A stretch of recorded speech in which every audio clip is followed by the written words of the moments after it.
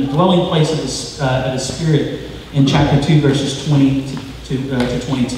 He tells us we're given boldness and confident access to God in chapter 3, verse 12. That we're made powerful beyond our imagination in chapter 3, verse 20. That we're given the unity of the, of the Spirit and the bond of peace in chapter 4, verse 3. That we're individually and uniquely gifted by Christ in chapter 4, verse 7. We're blessed with, uh, specially gifted leaders to equip us in the work of ministry in chapter 2, chapter 4, verses 11 and 12. And we are taught by Jesus Christ himself in chapter 4, verses 20 and 21. That we are given a new self in God's holy likeness in chapter 4, verse 24. That we are made light in chapter 5, verse 28. That we, or chapter 5, verse 8. That we are offered the fullness of the Holy Spirit in chapter 5, verse 18. That we are given the instructions and resources to make all relationship with, with others what God intends them to be in, in uh, Ephesians 5, 21 through chapter 6, verse 9. And then last of all, we are given God's full armor to make us victorious against Satan and his demonic forces, which is what we just read in, in chapter 6, verse 10 and 17. And so now you're saying, I didn't catch half of that. So my challenge to you is go to Lifeway and buy the Ephesians commentary by John MacArthur um, and just read that. Uh, it's on page 377, all right? Um, but uh, what I want us to see is this, is that Paul lays out throughout the book of Ephesians, these are the blessings, these are the things that are yours because you placed your faith in Jesus Christ. You're a believer, you're leaning into the gospel now, and so these are your benefits. This is what happens to the, in the life of a believer. And then he continues in verse 18 and he says, Now pray at all times. Now, this can get a little confusing, but what, what John MacArthur says is this is after a believer contemplates the breathtaking list of blessings that he or she possesses as a child of God, Paul realizes the great danger that is likely to follow temptation to self satisfaction and spiritual arrogance. And so Paul lists these things and he says, and you need to pray. And the reason that you need to pray is because you probably are going to begin to walk around with this high and mighty attitude I am a blessed child of God. I uh, am God's workmanship. There are people that walk around churches, right? They're like, I'm God's workmanship. I'm God's blessing to this church. I'm this, I'm that. And what Paul says is this is you must pray at all times. And the reason why is because prayer is us leaning into the gospel.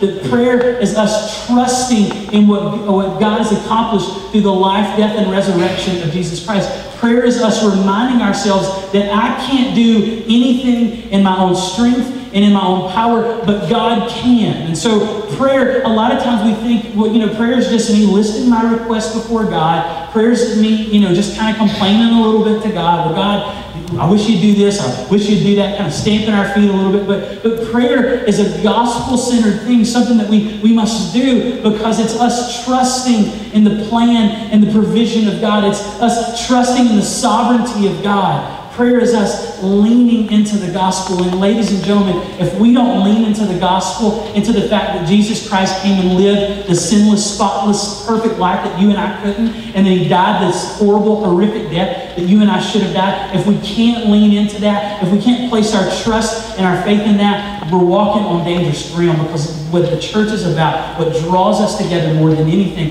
it isn't a common um, you know, personal preference. What it is, is it's the gospel of Jesus Christ. And prayer is a way that we become a gospel centered community, a gospel centered family, because in that we trust in God. We trust in the power, the provision, the plan, the providence of God. And so, what I want us to see, the foundation that we lay before anything else is this, is the gospel because that's our foundation. If we ever forget, if we ever move on to other trivial things and we forget to lay the foundation of the gospel, where are we headed? What direction are we headed in? And so the gospel, the gospel, the gospel, and you'll get tired of hearing me say it every time I stand up in front of a group of people, but the gospel is what we're all about, and it's what we have to be about. Amen. Because it's that that gives us hope, meaning, and purpose. Gives us the comfort that we so desperately need in our lives. And so prayer is an exercise in leaning into the gospel and trusting the gospel. Why? Because the only way that we can pray and the only way that we can communicate with God is because Jesus Christ came and He lived the life that you and I couldn't live and He died the death of He reconciled us to God. He reconciled us to God. And so the gospel is the foundation of prayer. It's, it's the foundation that connects us, and it's also the foundation that connects us in prayer. And so Paul reminds us pray at all times. And prayer at all times is a, is a theme throughout a lot of Paul's letters. In, um, in Romans chapter 12, verse 12, he mentions the frequency, the consistency of prayer. Also in Philippians 4, 6, in Colossians 4, 2, and 1 Thessalonians 5, 17. Remember, pray continually or pray without ceasing. And so prayer is a constant thing for Paul. Why? Because Paul wants us to lean into the gospel, to lean into what Jesus accomplished through his life, death, and resurrection. And so there is our foundation. And now we begin to build on it and say, what is it that we're connecting in? How do we connect in prayer? And Paul continues in verse 18, and he, verses 18, 19, and 20, and he gives us two things that we should pray for. You ready? So he says, pray at all times in the Spirit with all prayer and supplication. He says, here's the first request. He says, to that end, keep alert with all perseverance. Don't give up press in, keep praying. And he says this, making supplication for all the saints. And so the first thing that we should learn, that, we really need to grasp about being connected in prayer, is that we, we do this, we pray for one another. This isn't rocket science. This isn't difficult. This isn't brain surgery. This it, it's simple. Pray for all believers. Pray for the fellow saints. Pray for your brothers and sisters in Christ. And now here is the reason why, because again, prayer changes things. Any of you ever had a disagreement with somebody? Come on. I don't see enough hands. Any of you, any of you just got people that you just kind of don't like? Come on. No, I gotta play. I mean, you gotta get a, come on now. How many of us have those people that maybe are sitting in this building right now. AJ, don't talk about me like that way. Um, no, we, in, in churches, you've got one end of the spectrum from, from age to the, to the other end. You've got one end of the spectrum from life experience to the other end. You've got so many different personalities and preferences just in this church, much less other churches in this community, much less in this region, in this state. All churches, when you really think about it, you look at if anybody just walked in this church and you look across this and, and they, they look at the different types of people that are here, I, I bet some people, a lost person, just scratching their head and saying, What is it? Why are they here? But here's the issue with that. Those differences sometimes breed conflict. Sometimes it, it, we want our way, we want things to be the way that we prefer it, we want things to be the way that we like it, that we want everybody to kind of submit to what it is that we want to do or what it is that we want to be about. And so there's that frustration, there's that tension, there's, there's conflict. And a lot of times, what we do as a result of that conflict and that tension is that we find people who support us and our ideas and our preferences, and we run over here and we talk and we huddle up and we do this and we do that, while that other person on the other end, they're over here, they're huddled up, and, and then it just continues to fester and fester and fester. But what Paul tells us is this, is that what we should do instead of having conflict is we should pray for one another, not pray for one another and say, God, I wish you'd change that person's heart because they are so stubborn, right? Because that's what we typically do, right? Come on, let's let's get honest with ourselves. We, that's what we pray. That's the way we. I wish they would, that we would pray, God, change my heart towards this person. God, change my heart towards that. Because we're not walking in fellowship, we're not walking in unity. And that is what the gospel does. It drives us together. It doesn't drive us apart. It doesn't drive us to have different factions and different groups. And it doesn't drive us to conflict. It drives us together. And so maybe, maybe, just maybe what we need to do is to pray that God would change our hearts towards other people. Maybe what we need to pray for our fellow believers is this, is that they would lean into the gospel. Maybe there's someone in this church that you know that maybe they're just not leaning into the gospel the way that they ought to. And maybe that becomes your prayer that God, they would lean into you and they would trust in you above all else. But it also comes to us being transparent with each other. That we begin to allow people to know the struggles that are in our own hearts, in our own lives, so that we can go to those people. We can go to our church family. We can go to our fellow believers, our brothers and sisters in Christ, and say, you know what? This is what I'm struggling with, and this is the way that it's, that it's affecting me. And maybe then that person can go and pray for us.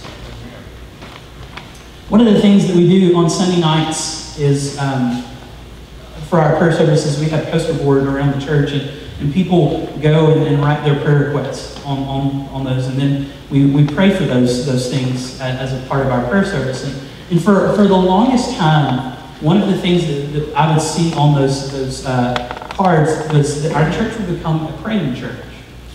And I believe that at some level, our church is. I mean, I, I get like 17 emails a day from the, the prayer chain. Uh, that, that, we're, and that's great. That we're, we're trusting in each other. We're opening up and we're saying, these, these are the struggles. This is what's going on in my life. But maybe we just need to be a little bit more transparent. Because sometimes it's, you know, this is going on, this person's sick, and that's, that's fine. But maybe we just need to say, you know, look, I'm, I'm struggling with depression.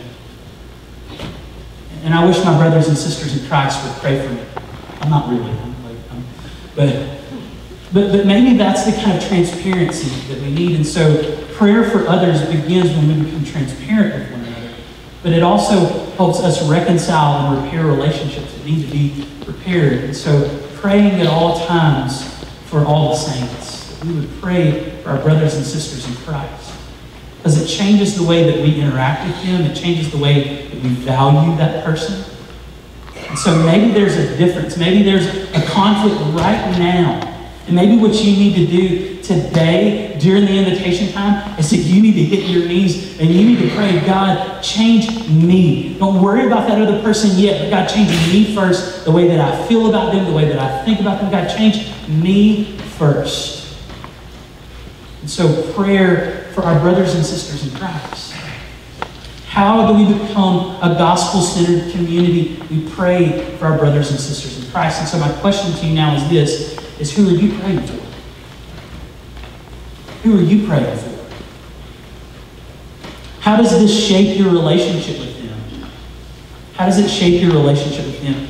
And then also, here's another question Do you take encouragement knowing that someone else is praying for you? So Paul continues now, and we're almost actually done.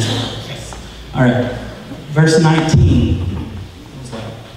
Um, Paul says this, and also for me, that words may be given to me in the opening and opening my mouth boldly to proclaim the mystery of the gospel, for which I am an ambassador in chains, that I may declare it boldly as I ought to speak. And so Paul's second request, the second challenge for the church at Ephesus is this. Pray first and foremost for your brothers and sisters in Christ, and now pray for me. And what we learn from that is this, is that we would pray for our leaders.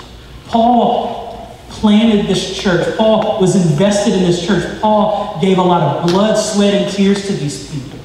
He poured into the lives of other people who led that church. And so Paul says, Pray for me. And this kind of sounds a little like, kind of like I'm begging for you, but I think it's okay. And, and I think that, that my fellow staff members would, would, would stand with me and say this we need your prayers.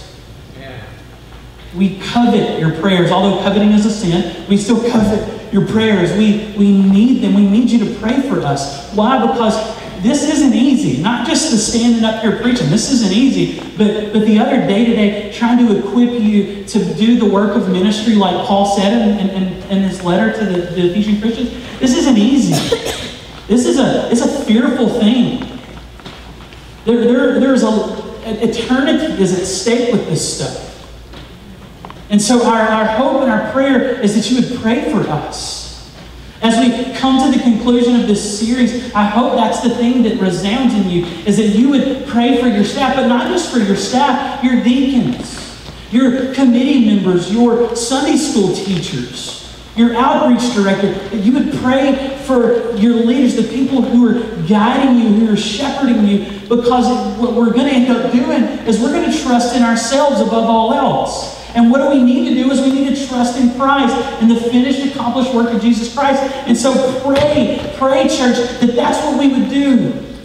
That we wouldn't bow down to the opinions of other people, that we wouldn't bow down to the opinions of ourselves, but that we would follow the will of God, the, the, the, the, plan of God, that we would do what it is that God has burdened our heart for. Not that what I've burdened my heart for, David's burdened his heart for, Dan's burdened his heart for, but that what God has led us to do, what God has placed us here for.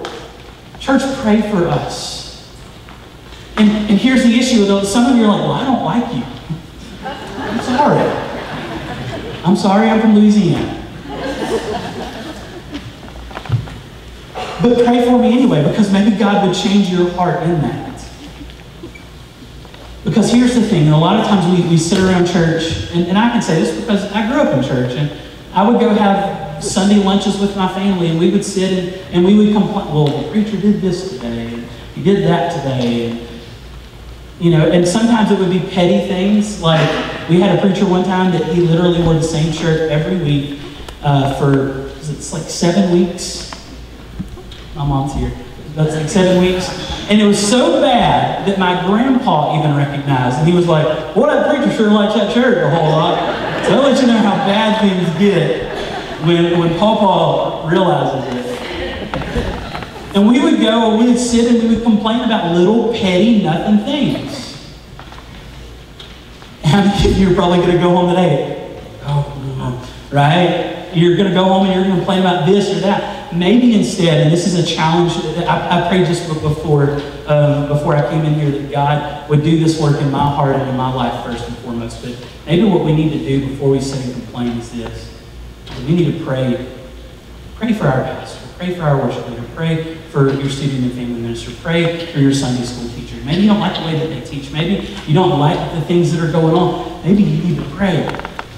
Because I can tell you this from experience, complaining doesn't fix it. Complaining doesn't fix it. I think that's something we all could, could really agree with and, realize.